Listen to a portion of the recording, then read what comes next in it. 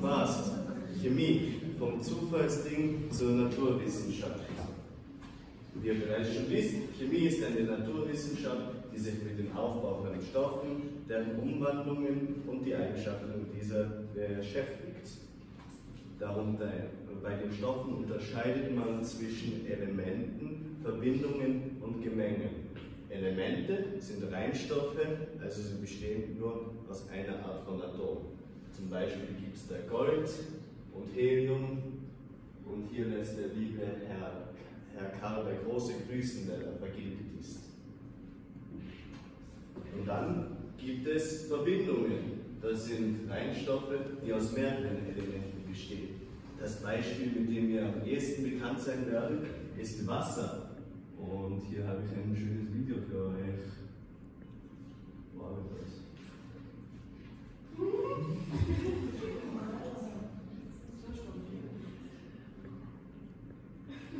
Doch nun, was ist denn das? Das war der Wind. Wer ist der Wind? Der Wind ist eine Konvektionsströmung des Stoffes, der sich Luft nennt. Was ist Luft? Luft ist ein Gemenge aus vielen Verbindungen und, äh, und Elementen, nämlich 21% Sauerstoff, 78% Stickstoff 1% lauter Edelgase wie Helium, Krypton, Xenon, ein bisschen CO2. Aber die Luft war nicht schon immer so, wie sie heute ist. Am Anfang, äh, vor, vor 4 Milliarden Jahren, als die erste Erdatmosphäre begann, sie zu schaffen, war die Atmosphäre so zu 80% aus Wasser.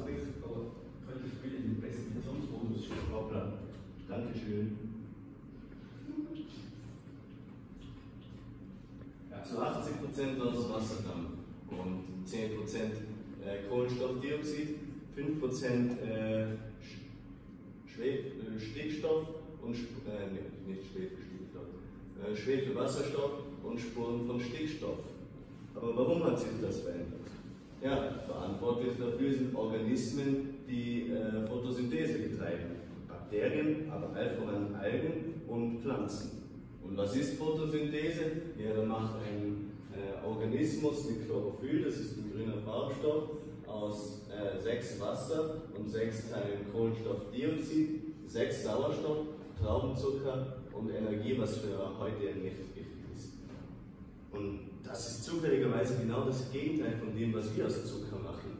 Wir tun Zucker verbrennen und daraus und dann CO2 und Wasser ausscheiden. Verbrennen. Gutes Stichwort. Feuer. Also, Feuer ist eine sehr praktische Sache, aber zuerst war die Entdeckung dessen rein zufällig. Aber dann sind die Leute drauf gekommen, wenn ich die Hände zusammenreibe, macht es heiß. Also kann man dieses Prinzip nützen, um auf unterschiedlichsten Arten Feuer zu machen. Hier macht mein Papa ein, mit einem Feuerstahl ein Feuer. Ein Feuerstahl ist im Grunde einfach nur ein sehr eisenhaltiges, ein eisenhaltiger Stahl. Früher hat man Pyrit dafür verwendet und dann braucht man einen härteren Stahl. Damals hat man Feuerstein verwendet. Dann zieht man das entlang vom weicheren Stein und durch die Reibung, die da übertragen wird, fliegen, äh, fliegen die Funken vom Eisen raus. Aber weil da so viel Reibung drauf war, die übertragen wird, ver, äh, verglüht das dann und die Hitze kommt dann in mein Feuernest und das entzündet sich dann aber eine viel modernere Art, mit genau, nach genau dem gleichen Prinzip Feuer zu machen, wo habe ich das hier, ist mit Kaliumpermanganat zum Beispiel. Ja, da braucht man das im Verhältnis, dass man zwei Kaliumpermanganat oder einen Zucker nimmt und wie wir bereits wissen, ganz viel Druck und Reibung macht heiß. Eine Kaliumflamme kann mit bis zu 2000 Grad brennen. Das ist dreimal so heiß wie ein natürliches Feuer aus Holz.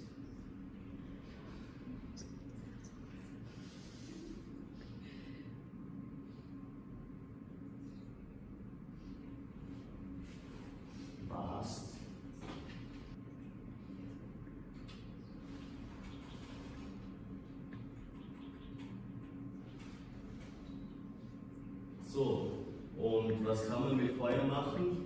Ja, eine der wichtigsten chemischen Reaktionen, die im Alltag stattfinden, ist für uns natürlich das Kochen. Kochen, mit Kochen kann man sehr viel Essen viel genießbarer machen und leichter verdaulicher. Das sich meine Schwester hier zunutze gemacht hat in diesem Video.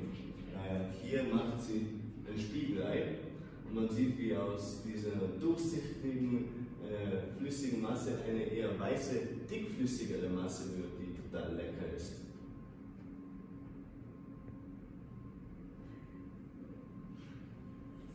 Heißhunger bekommen wir jetzt. So.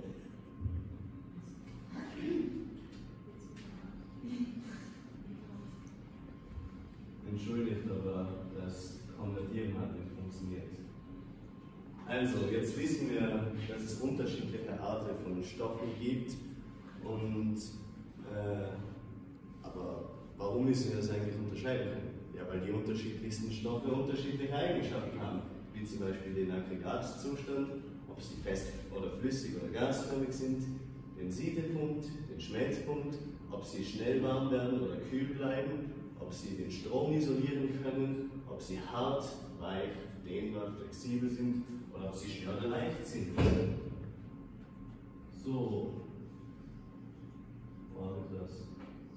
Und hier habe ich ein paar Experimente für euch. Leider funktioniert der Ton gerade nicht.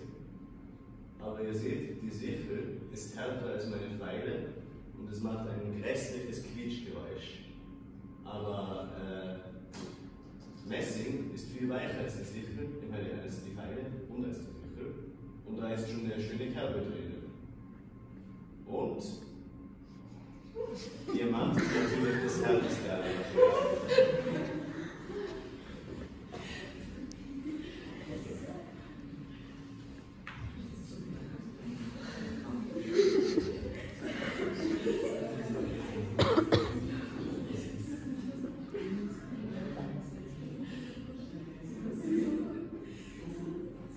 Natürlich muss man, wenn Gegenstände unterschiedliche Eigenschaften haben, kann man eine günstige Kombination daraus nutzen für die unterschiedlichsten Zwecke.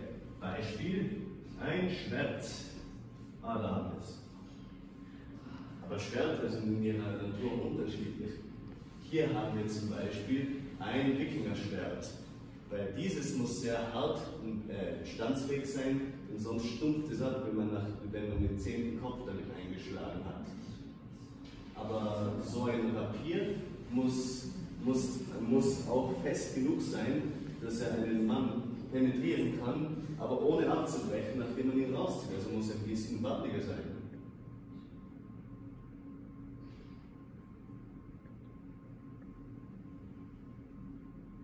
Aber ein Baustahl eignet sich gar nicht für ein Schwert. Wie man hier an meinem ersten misslungenen Versuch sieht. Der Baustahl hat eine schreckliche Kerbe drinnen der abgehärtete Kohlenstoffstahl, da ist nur die Politur ein bisschen weggegangen.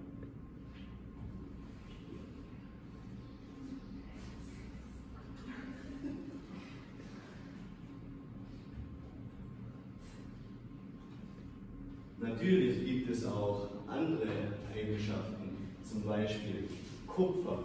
Kupfer ist ideal zum Stromleiten, aber es gibt einen Stoff, der Strom noch viel besser leiten kann als Kupfer, nämlich Silber. Aber das Problem mit Silber ist, dass Silber ein Vorkommen von 0,075 Teilchen pro Millionen hat, im Gegensatz zu den 70 von Kupfer. Das heißt, wenn man in der Erdkruste gräbt, ist es Zehntel, Hundertstel, Tausendstel, Zehntausendstel, zehntausendmal so wahrscheinlich, dass du ein Stück äh, Kupfer ausgleichst als ein Stück Silber. Naja, und was ist da passiert? Okay.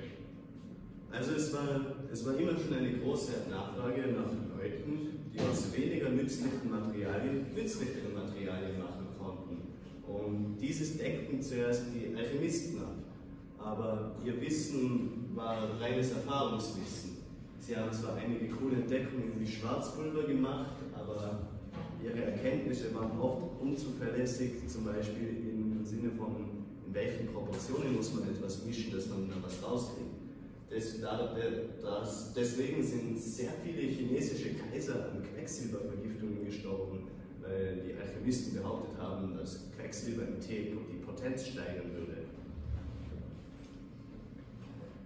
Naja, Chemie als Naturwissenschaft gibt es dann eben erst ab dem 18. Jahrhundert, Besser wurden und die SI-Einheiten äh, festgelegt wurden.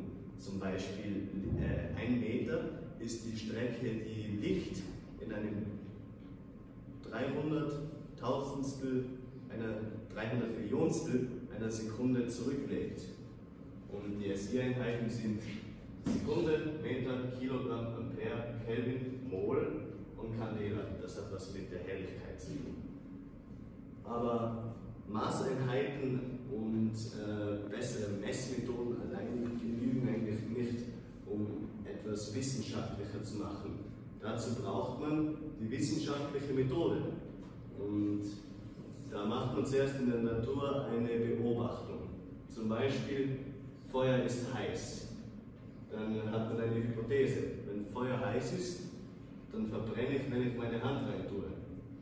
Also mache ich ein Experiment und ich prognostiziere, dass meine Hand verbrannt sein wird. Also schmeiße ich meine Hand ins Feuer und ist sie verbrannt, dann hat sich bewahrheitet, Feuer ist in der Tat heiß. Aber ist meine Hand noch heil? Kann das nicht stimmen? Und ich muss mir überlegen, ob Feuer vielleicht etwas anderes als heiß ist. Das war's.